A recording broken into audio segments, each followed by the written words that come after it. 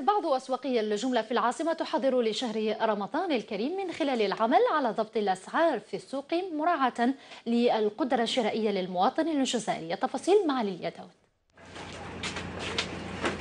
70 مليار دينار هي تكلفة سوق الجملة للمواد الغذائية ببلدية الحراش غير أن ما آل إليه من وضعية يرجعه أصحاب الاختصاص إلى سوء التسيير. قيمتها 70 مليار.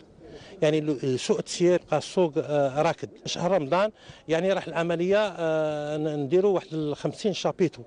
هنا داخل السوق هذا وهذو لي شابيتو يعني يجوا المستوردين آه، اللي يزودوه يعني بالمواد الغذائية العامة أو الخضر الخضر والفواكه اللي يقتني منه المواطن مباشرة. يعني السوق الرحمة نعيطوا له.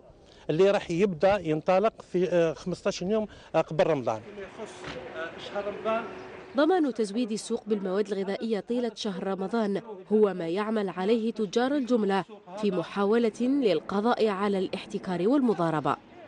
non non c'est pas c'est pas c'est pas le grossiste le grossiste يمشي عند l'importateur عنده une marge باينه ماهوش c'est كي تكون la demande اللي يطلع le prix واللي كاين ناس يحتكروا تاع اللي عندهم اللي chambres froides وكذا هذا هو المشكل. التجار هما ثاني راهم يكونوا هما راهم دايرين ال social في البلاد. يعني يكون نحسبوا la marge واش راهم يخدموا les grossistes و les détaillants والخ... يعني ب des marges ضعاف. mais إحنا راح نساهموا فيها إن شاء الله باش يكون فيها تدعيم للمواطنين اللي حاب يقضي بسومه مليحه اللي راح نحسوا فيهم تحضيرات تجار الجملة لاستقبال شهر رمضان قصد تفادي الزيادات في الأسعار وكبح جشع بعض التجار والمضاربين. بات أمر ضروريا لضبط السوق بما يخدم المستهلك الجزائري.